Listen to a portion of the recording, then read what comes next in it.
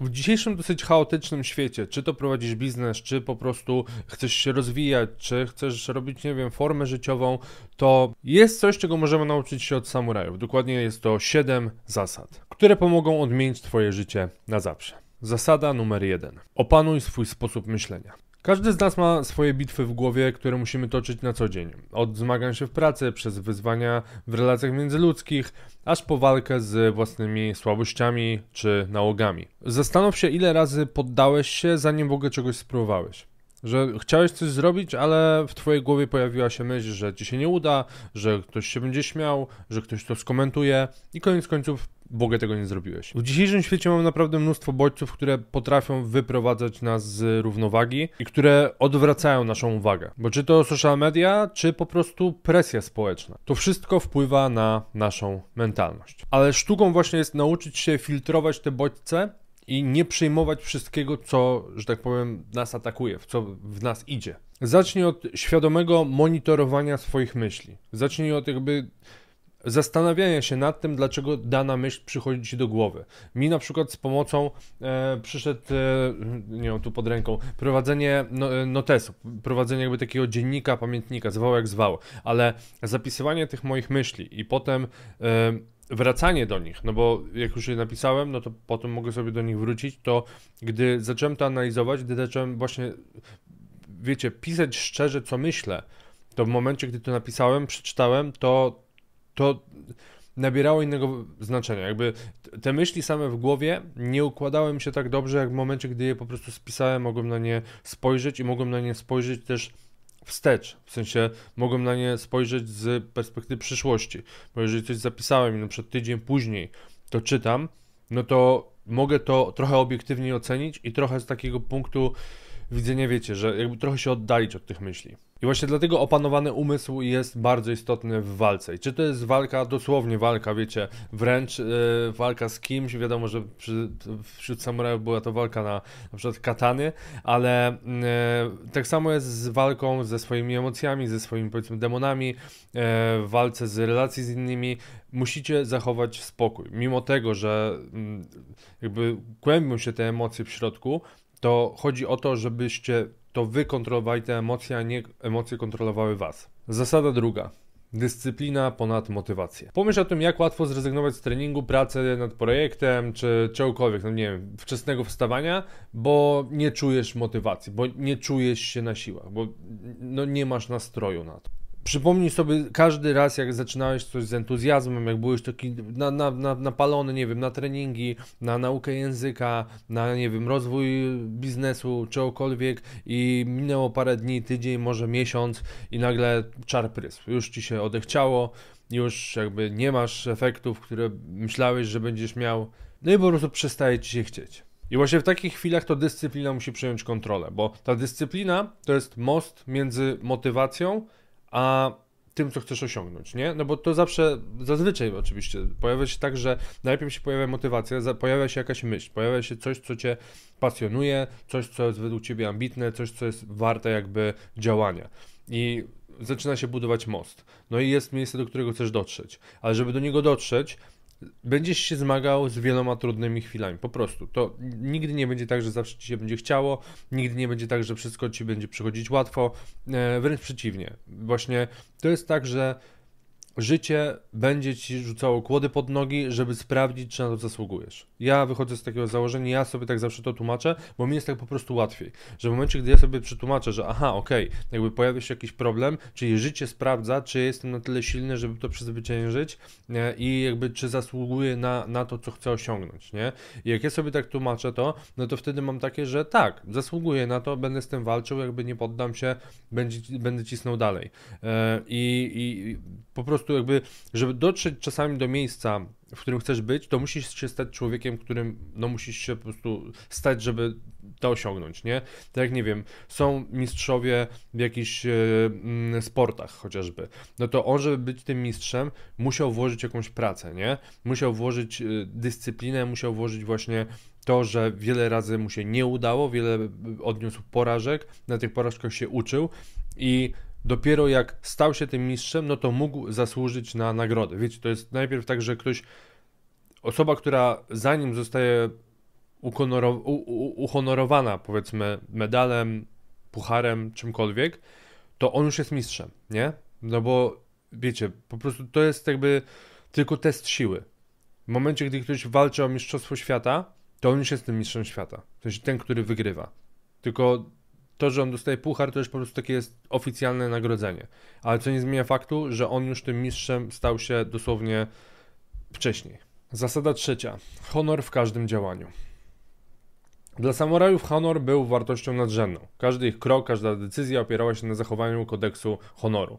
I współcześnie ta zasada również ma kluczowe y, zastosowanie. I wiecie, tu nie chodzi o taki, wiecie, kodeks, oczywiście też trochę, ale nie chodzi o taki kodeks honorowy, że wiecie, że nie wiem, być prawilniaczkiem i, i jakieś takie zasady, wiecie, uliczne czy cokolwiek takiego, e, tylko być honorowym to wierność danym wartościom i wierność danemu słowu. I nie chodzi tylko o to, co wy mówicie innym, w sensie, że nie wiem, że nie, łapie, nie łamiecie obietnic wo, wobec innych, ale przede wszystkim chodzi tutaj o niełamanie obietnic wobec siebie. I właśnie to jest to clue, żebyście wy żyli jakimiś zasadami, jakimiś wartościami i rzeczywiście nimi żyli. W sensie trzymali się tego i byli właśnie honorowi wobec samych siebie. Jakby wasze życie ma być manifestacją tego, kim jesteście. I każde wasze działanie powinno być odbiciem waszych wewnętrznych wartości. Także czego byś nie robił, to rób to zgodnie ze swoimi wartościami, które najpierw musisz oczywiście poznać, bo jeżeli nie zastanowisz się nad nimi, to ty nie wiesz tak naprawdę, jakie masz wartości i co rzeczywiście e, jest dla ciebie cenne. I na sam koniec, pamiętaj, że jeżeli coś kosztuje cię wewnętrzny spokój, to nie jest tego warte. Zasada czwarta. Akceptacja trudności. Współczesny świat często mówi nam o tym właśnie, że powinniśmy unikać bólu, że wiesz, jeżeli dzisiaj nie chce, to nie rób tego, jeżeli czujesz się zmęczony, to odpocznij. Eee, i, i wiecie, takie, to są według mnie takie mm, zdania, takie wartości, które łatwo mogą kogoś przyciągnąć z powiedzmy takiego, z, z takiej skrajnej pracy nad sobą do trochę takiego użalania się nad sobą, bo może być bardzo cienka granica między jednym i drugim. Bo wiecie, tak samo jest cienka granica między lenistwem a odpoczynkiem, między ciężką pracą a pracoholizmem. I wiecie, każdy z nas ma przeszkody, które napotyka po drodze, czy to w pracy, w życiu, w relacjach z innymi, w zdrowiu. I w takich ruchach często naturalnym odruchem jest wycofanie się, bo wiecie, no, nasze ciało jest stworzone raczej do tego, że może albo walczyć, albo uciekać, albo ewentualnie być sparaliżowane i nie, nie zrobić nic. I w momencie, gdy właśnie napotyka cię jakiś problem, no to właśnie masz trzy rzeczy do wyboru. I nie zawsze ucieczka jest dobrym rozwiązaniem. Tym bardziej, że teraz no, nie grozi nam raczej w większości przypadków to, że stanie nam się krzywda e, fizyczna, tylko po prostu napotykamy trudne sytuacje. Tylko właśnie musisz pamiętać, że każda trudność, jaką napotykasz, ona buduje cię. Po prostu jesteś coraz silniejszy. Im częściej robisz coś, co sprawia twój dyskomfort, tym wychodzi ci to lepiej. I tu mogę powiedzieć na swoim przykładzie. Ja y, kiedyś yy, bałem się na przykład wystąpień publicznych. I do tego stopnia bałem się i stresowałem się wystąpieniami publicznymi, że na przykład na studiach miałem prosty wybór. Albo mogę przygotować prezentację na ćwiczenia, na których jest 20 osób, i mieć od razu podniesioną o jedną ocenę na egzaminie w górę, albo mogę pisać egzamin i muszę zdobyć więcej punktów wtedy na tym egzaminie. Gdzie wiecie, prezentacja, no to jest jakby przygotowanie, przeczytanie z kartki i, i to jest wszystko, nie? W sensie to nie było nic skomplikowanego, ale mój stres i mój strach przed y, wystąpieniami publicznymi był tak duży, że wolałem zaryzykować i dłużej się uczyć po prostu do egzaminu, co zajęło mi więcej czasu y, i w taki sposób musiałem zdać y, jakby przedmiot, zamiast po prostu zrobić tą prezentację. Podobnie jest zresztą z ciężkimi rozmowami. Ja też kiedyś do tego stopnia stresowałem się ciężkimi rozmowami w swoim życiu, w sensie ciężko mi było na przykład powiedzieć komuś, że coś mi nie pasuje, że wiecie, że, że musimy porozmawiać na jakiś temat i właśnie poruszyć jakieś cięższe rzeczy, e, przez to czasami sam siebie krzywdziłem przez to, nie, że, e, bo wolałem to stłumić w sobie, wolałem jakby wziąć coś na klatę, coś na siebie, tylko po to, żeby uniknąć tej rozmowy e, i tak naprawdę sobie szkodziłem tym. Zasada piąta. Żyj z celem. Dokąd zmierzasz? Czy Twoje codzienne działania są zgodne z Twoimi wartościami i ambicjami? Bo jeżeli nie masz jasno zdefiniowanego celu, który chcesz osiągnąć, no to tak naprawdę no, kręcisz się w kółko, nie? W sensie jesteś pasażerem e, na gapę autokaru, który nawet nie wiesz, gdzie zmierza. Po prostu wsiadłeś i jedziesz. Także nie dziwne, że możesz czuć się zagubiony, bo dosłownie jesteś zagubiony. I nie chodzi o to, żeby cel był natychmiastowy do spełnienia, że ty musisz dokładnie wiedzieć, co ty będziesz robić za 20 albo 30 lat w swoim życiu, albo że musisz mieć jakiś taki jasny cel, który osiągniesz w ciągu, nie wiem, dwóch miesięcy. W rzeczywistości to chodzi o podróż. Nie chodzi o cel, bo możesz go nawet nigdy nie osiągnąć. I czasami nawet taki cel jest lepszy.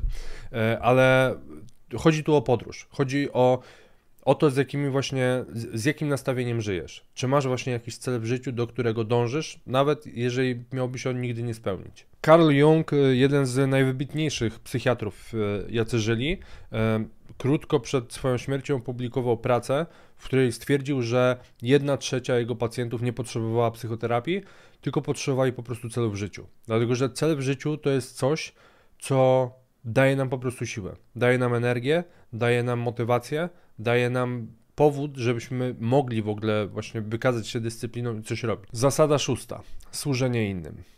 Służenie innym może źle brzmieć, w sensie może się kojarzyć z tym, e, że no, żyjecie dla kogoś, że poświęcacie siebie dla innych. Ale tak właściwie to jaka jest w takim wypadku twoja rola w społeczeństwie, jak nie to, żeby służyć innym. Wiecie, jeżeli ktoś zostaje lekarzem, to on służy innym. Służy innym swoją wiedzą, służy innym swoim doświadczeniem, żeby ratować ludzi. Jeżeli ktoś pracuje w sklepie i podaje produkty, cokolwiek, kasuje je, to również służy innym. I każdy zawód tak naprawdę polega na tym, że służysz innym. Pomagasz swojemu otoczeniu, pomagasz społecznie coś zrobić. I wiecie, każdy biznes na przykład opiera się na tym, że rozwiązuje jakiś problem albo spełnia oczekiwania danej grupy odbiorców. Wiecie, to jakby na tym jest zbudowany fundament dosłownie każdego biznesu, że on ma rozwiązać jakiś problem. I wiecie, łatwo wpaść właśnie w taką pułapkę w momencie tego, jak wykonujecie chociażby jakiś zawód, że wy skupiacie się na tych negatywnych stronach że na przykład, nie wiem, jeżeli jesteście sprzedawcami, no to możecie się skupić na tym, że nie wiem, o, że wciskacie ludziom kity, że e, manipulujecie, że używacie jakichś tam technik e, psychologicznych, ale nie musi tak być, nie? W sensie jakby nie o to chodzi. Dobry sprzedawca powinien sprzedać dobry produkt dla dobrego klienta, który będzie zadowolony, że to kupił. Czyli znowu rozwiąże jego problem i mu pomoże w wyborze. I jeżeli tak zaczniecie na to patrzeć, że wy, nie wiem, jak jesteście, nie wiem, chociażby trenerami, no to, że to nie jest tak, że wy wysyłacie plany treningowe i dostajecie za to pieniądze. Nie. Wy pomagacie ludziom zmienić swoje ciało, zmienić swoje nastawienie, zbudować dyscyplinę. W każdym zawodzie tak naprawdę jest jakiś głębszy sens, tylko trzeba go odnaleźć. Zasada siódma. Celebruj małe rzeczy. W japońskiej kulturze mamy coś takiego jak Hanoju, czyli rytuał parzenia herbaty. I jest to coś więcej niż po prostu przygotowanie herbaty. Dlatego, że jest to symbol głębokiej koncentracji, dokładności i uważności. Dlatego, że każdy gest w tej ceremonii ma znaczenie, każdy ruch ma znaczenie, tempo, w jakim jest wykonywane. I właśnie te rytuały, te małe ruchy miały być momentem refleksji, miały być momentem spokoju, miały być momentem, w którym na przykład osoby, które są w konflikcie, razem skupią się na jednej rzeczy i będą mogli w spokoju i w szacunku do siebie zrobić coś codziennego. I w dzisiejszym zabieganym świecie bardzo łatwo jest właśnie się zagubić w tym, co robimy. Że wiecie, oglądamy serial, ale tak naprawdę on leci w tle, a my trochę siedzimy na social mediach, trochę się zajmujemy domem, trochę robimy coś tam. Yy, przygotowujemy sobie posiłek, nie zastanawiamy się tak naprawdę, czy on nam jakoś smakuje, czy nie, no bo jemy go któryś raz z rzędu, więc no, jak ma smakować. Yy, często jemy w biegu, często jakby jemy szybko, yy, tak żeby skrócić ten czas. Nie, nie mamy chwili zastanowienia nad, nie wiem, teksturą jedzenia, nad tym, jak ono pachnie, na to, jak ono, nie wiem, rozpływa się na bustach. I właśnie o to tutaj chodzi, żeby na chwilę czasami się zatrzymać i celebrować te małe rzeczy. Że w momencie, gdy, nie wiem, robisz sobie kawę, stań na chwilę. Jakby skup się na zapachu tej kawy, skup się na jej smaku, skup się na aromacie, skup się na tym, co cię otacza, skup się na dźwiękach, skup się na tym, co czujesz, skup się na swoich myślach. Po prostu chodzi o to, żeby być częściej tu i teraz. I film został zainspirowany właśnie tą książką, czyli Droga Samuraja doktora Antonio Antefermo. E, jest to bardzo fajna książka, którą właśnie dostałem od wydawnictwa otwarte do zrecenzowania i do obejrzenia, e, w sensie do, do przeczytania, zobaczenia e, co i jak. I właśnie w tej książce opisane są te zasady, a także wiele więcej. A co jest według mnie najfajniejsze w niej i co można właśnie wyciągnąć, to że w każdym rozdziale właśnie macie takie krótkie ćwiczenia do wykonania, które Wam pomogą jakby ogarnąć to, to, to co mówiłem, nie? Że właśnie jakie sobie pytania zadać, co sobie zapisać, co zrobić. Także według mnie jest to bardzo fajna e, pozycja, zwłaszcza, że jest ona dosyć krótka, tak naprawdę. W sensie wygodnie się ją czyta. Ja lubię w ogóle takie książki, jak są tak e, wydrukowane, że mamy te strony dosyć e, takie, no po prostu krótkie, nie? Że wiecie, że jest nawet spora czcionka i to się po prostu szybko czyta.